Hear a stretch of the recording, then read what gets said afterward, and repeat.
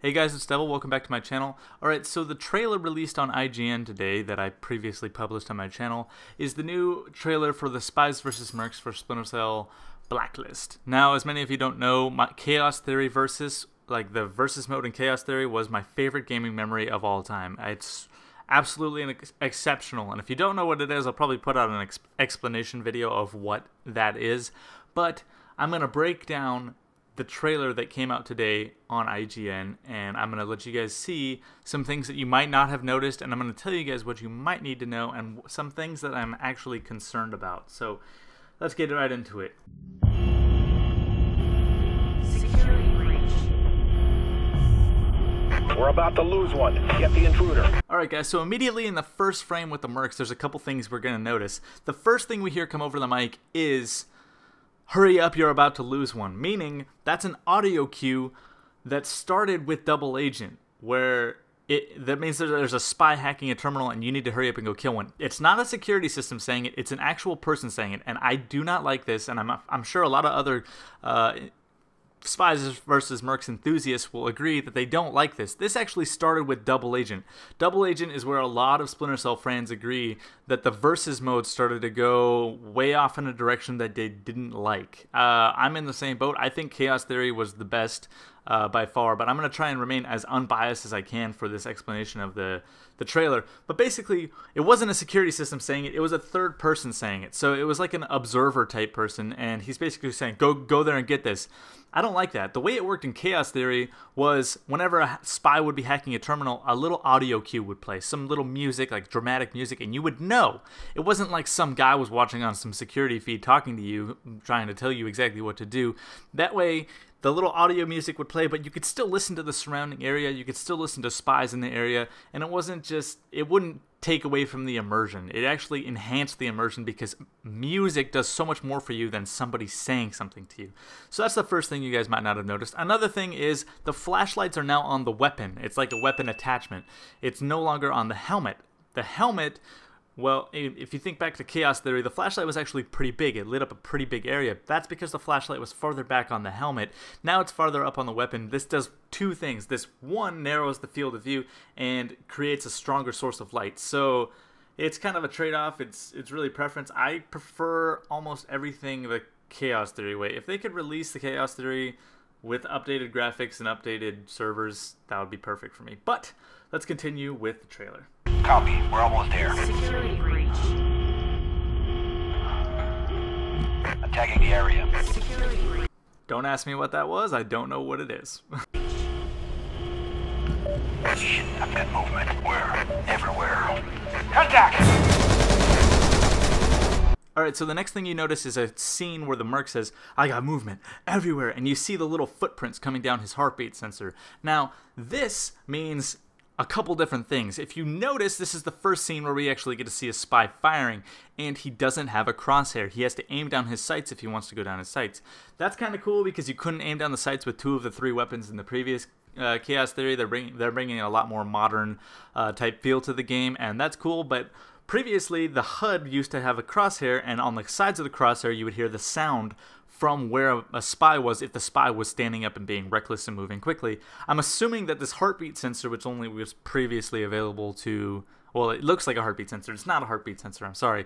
It was only previously available to the spies. Well, what I'm assuming this is is if a spy is up moving around quickly, that will act as the sound did in Chaos Theory. It's not necessarily I can detect you through walls. It's I can detect you through walls if you're moving quickly. It's a way to basically give sound uh, better hearing to the mercs.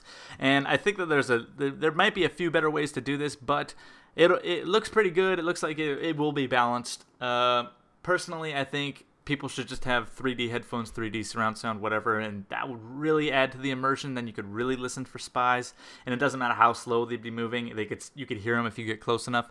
But that's just my personal opinion. Uh, let me know what you guys think in the comments. Let's get on with the trailer and keep watching.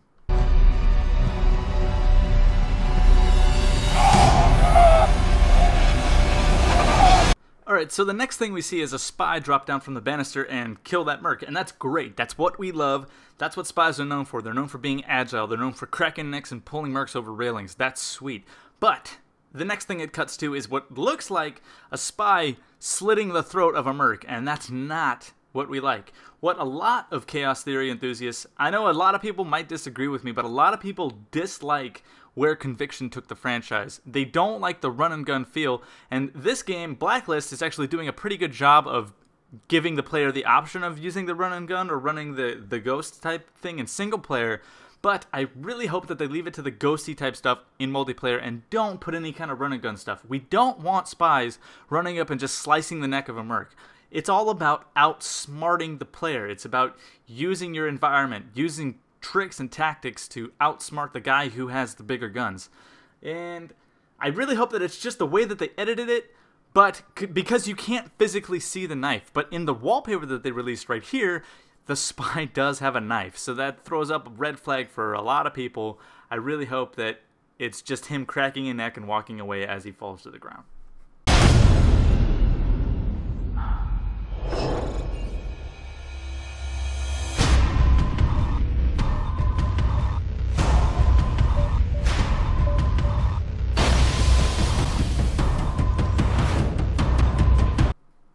So we get some nice screenshots of the new maps that are available, and then we get to see how the smoke grenade works, and also the stupidest merc all, of all time who just walks right past a spy who just, for some, thought it was like the sneakiest thing ever to back into some smoke that he threw. But the smoke grenades are nice. The smoke grenades are now black smoke, so it makes it even harder for you to see a spy within them, I'm assuming, and it looks, it kind of blends the shadow a lot better with black smoke as opposed to yellow smoke. That's something that I really do like.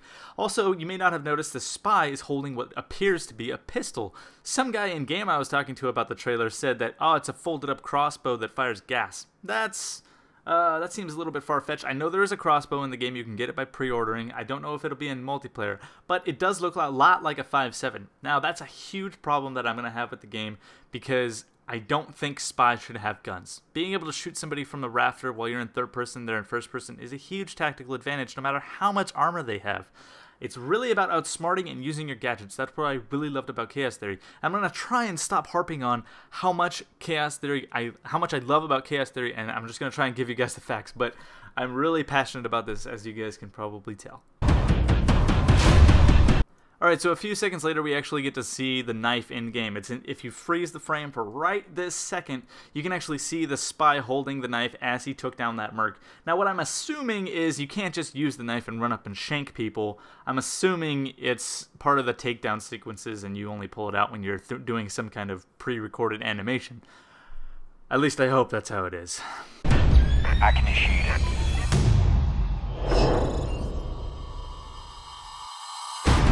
Wait a second, did that merc just jump over a railing?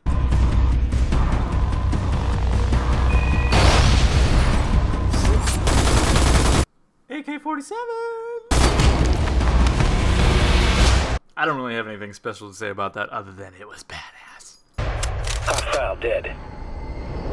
Okay, whoa, they just revealed that there's going to be a 4 on 4 versus.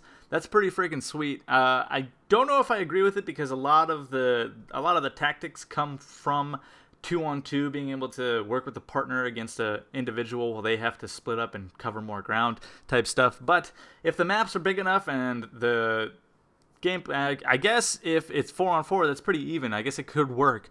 But that's a big step up because in Chaos Theory it used to be two on two or one on three, and then in Double Agent it was three on three, I believe. I, I don't remember because that game was so shitty, but I only played it for like five minutes. But this does look pretty cool. It looks pretty intriguing, and it does bring in the option of having a lot more friends in the game. One problem that was one big problem with Chaos Theory was it was only two on two. So if you have more than three friends, you can't really play with them. So this is a big step up, and I really look I'm really looking forward to this part of the game.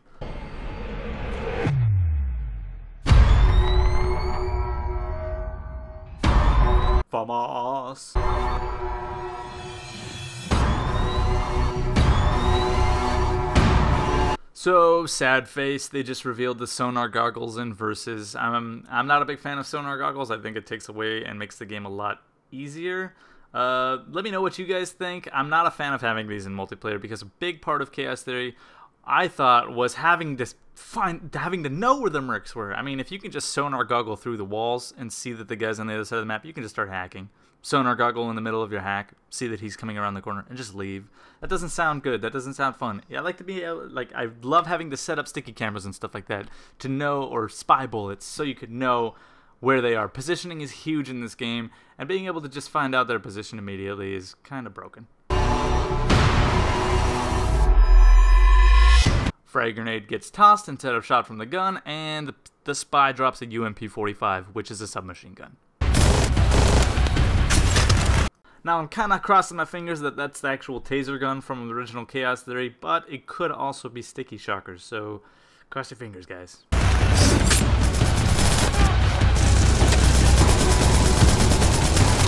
Mercs get machine guns!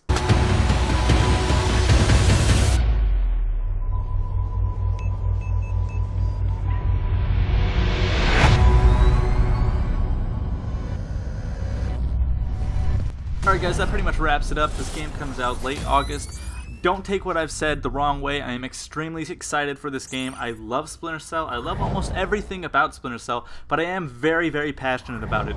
It is my favorite gaming memory of all time, and I will critique the shit out of it. If I see something I don't like, I'm not afraid to say it, but I am very, very, very excited for this game. I will cover it in depth on my channel if you guys would like to know more about the game, make sure you guys subscribe and I will put out updates as they come out and I will still be covering all my other previous things like Arma, etc. Thank you for watching. Peace.